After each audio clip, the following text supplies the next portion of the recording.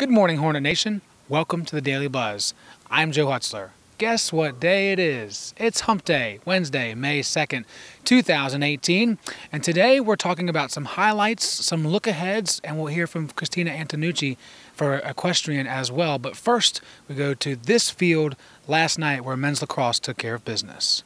Here we go. ODAC quarterfinal action. Randolph Macon has never defeated Lynchburg since Coach Koudelka came here 22 seasons ago, and it was established early that this would be no different. Trammell Robinson with one of his two goals on great passing. Speaking of passing, Colin McGuire has two defenders slide to him, so it leaves Kevin Rogers open for one of four goals on the afternoon slash evening for the left-handed slash right-handed red-haired rocket. Kevin Rogers killing the game.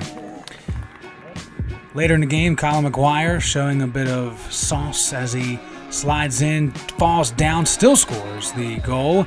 And deja vu later on in the contest. This time his man goes down, he turns back, goes where he was, splits the defenders, falls and scores one of four for Colin McGuire.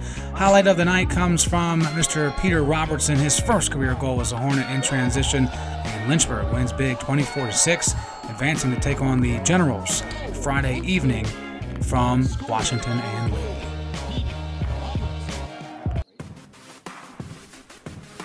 Moving on to women's tennis in the ODAC quarterfinal round, battling Roanoke for the second time this season. Roanoke took the first match indoors. Lynchburg took the Maroons outside and changed all of that.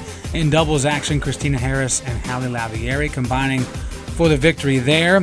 On court three, it's Reagan Kuhn who talked in the post-game interview about forcing the other team into mistakes, and that will get you points. She does right there. Wiley and Kuhn finish with the win in doubles. Lavieri in singles, one of five Hornets to win their singles matches, forcing Roanoke into a mistake. And this one from Wiley is just a great shot that the Roanoke player said, nah, not even going to worry about it. The first ODAC tournament victory for Coach Johnson is a big one as it advances them to the semifinals for the first time in program history. They will battle Virginia Wesleyan from Virginia Wesleyan on Saturday. While most of our spring teams are in their conference tournament season, Christina Antonucci for Lynchburg Equestrian has been waiting about a month before she could compete again, and tomorrow she will be at IHSA Nationals in Harrisburg, Pennsylvania. Here's what she had to say about her previous experiences at Nationals and what she's most excited about.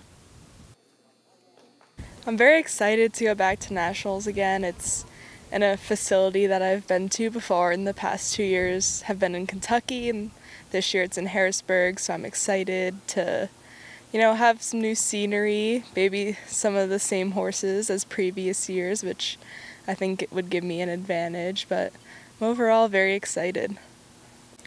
What I've learned from the past is to really just stay relaxed and not rush things because you're very nervous and you're tense and you really just have to take a deep breath and relax and do what you know and not let nerves get to you. Good luck to Christina tomorrow, and good luck to these teams today. Men's tennis battling Hampden Sydney at HSC today at 2 p.m. in the ODAC quarterfinal round. Baseball is here at home for their final regular season game of the year. They will take on Marymount at 4 p.m. from Fox Field this afternoon, getting ready for a return to the ODAC tournament this Saturday.